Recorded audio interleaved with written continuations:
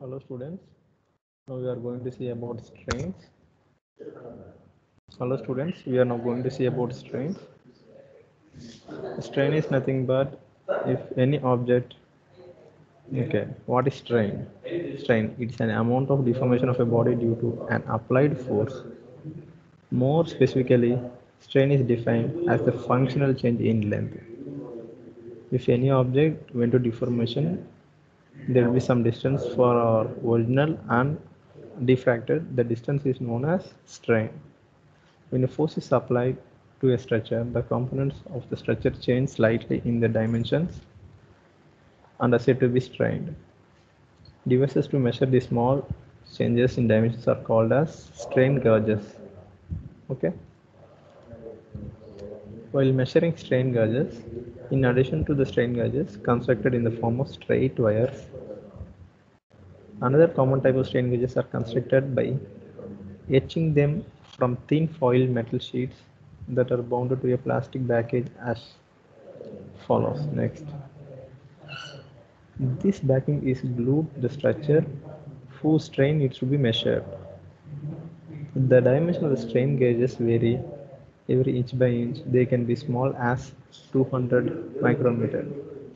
Strain as high as 2 lakh mu epsilon can be measured. Okay. Strain gauges can also be constructed from semiconductor materials. The semiconductor strain gauges are also commonly used by sensing elements in pressure and acceleration transducers. However, they cannot measure high strain. Okay, let me explain something more about the content of strains. If a structure is loaded in a single direction, there exists only transverse strains exists but not in transverse stress. Okay.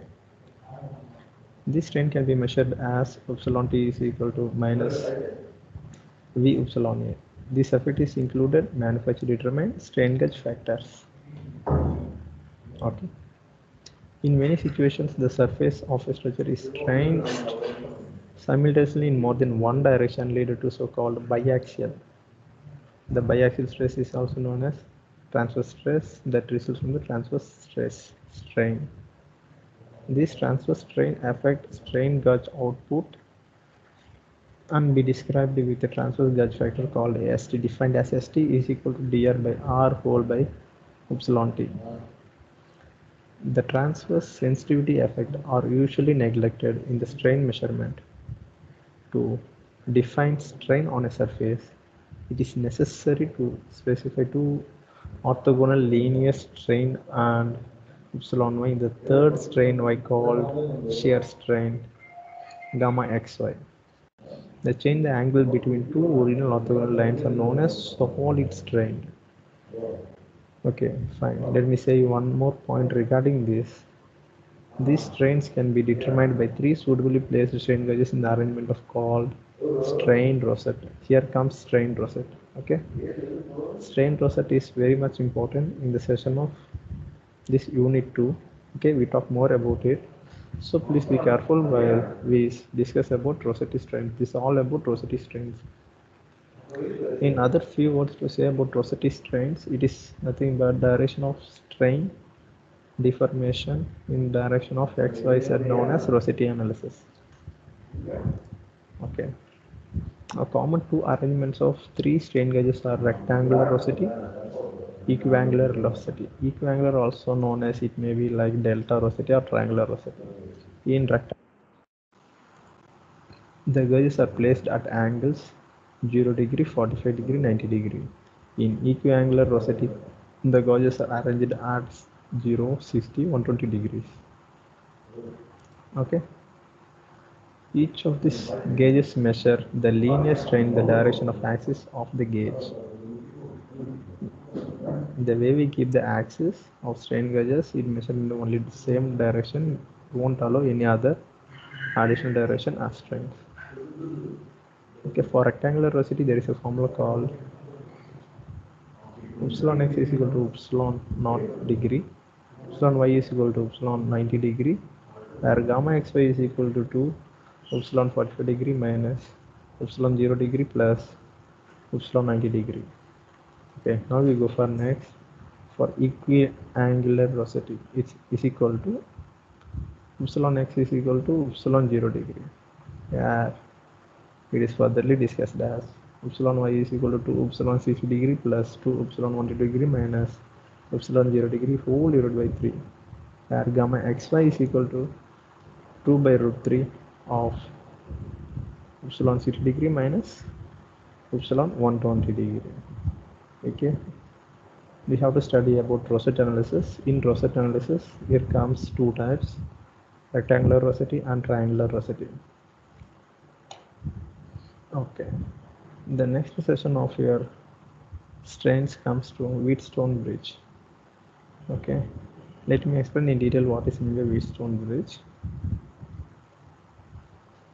okay Wheatstone bridge was originally developed by Charles Wheatstone to measure unknown resistance values as a means of calibrating measuring instruments like voltmeters, ammeters, etc. by the use of long resistive slide wire. Although today digital multimeter provided the simplest way to measure such type of resistances, the Wheatstone bridge can still be used to measure very low values of resistances cost like milliohms range. The Wheatstone bridge circuit can be used in a number of applications in today's modern period. This circuit is simply two simple series of parallel arrangements of resistance connected to a voltage. Okay, let me go further in detail what is Wheatstone bridge. The introduction I gave about Wheatstone bridge is more than enough, I hope so. If you look into a diagram of Wheatstone bridge, it's quick, catchy, and easy to understand. Okay, I'll explain what is Wheatstone bridge with respect to a diagram you can find in your textbooks. It is a balanced one. It can be analyzed means Wheatstone which can be analyzed simply as two series strings in parallel. In our tutorial about resistance in series, we saw that each resistor within the series chain produces an IR drop or voltage drop across itself as a consequence of the current flowing through it as defined by Ohm's law. I hope you all know what is meant by Ohm's law considering the series circuit the two resistors are in series. The same current one flows flows through both of them. Therefore the current flowing through these two resistors is series given as V by RT where I is equal to V divided by R is equal to 12 volts minus 10 ohms plus 20 ohms is equal to 0.4 amps. The voltage at point C here comes to voltage drop across the lower resistor R2 that is calculated as VR2 is equal to I into R2 is equal to 0.4 amps into 20 ohms. That is known as 8 volts. Okay fine. Coming into very far further to Wheatstone bridge by replacing both R R4 with the resistance of known unknown value in the sensing arm of the corresponding to Rx and adjusting the opposite corner R3 to balance the bridge network. Network will result in the zero voltage output. Then we can see that balance occurs when R1 by R2 is equal to R3 by Rx. That is equal to 1. It is nothing but balanced equation. Okay. The Wheatstone bridge equation required to give value of the unknown resistance where unknown resistance is nothing but Rx.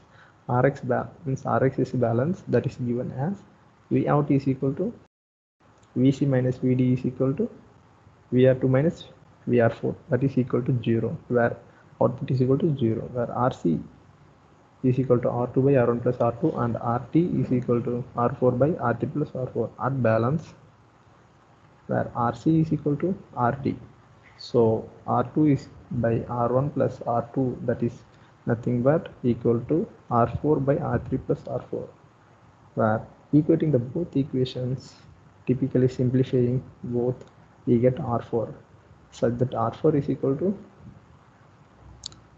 is represented by Rx that is nothing but R2 R3 by R1 okay. Where resistors R1, R2 are known or are known or now they are present values. Okay friends, thank you.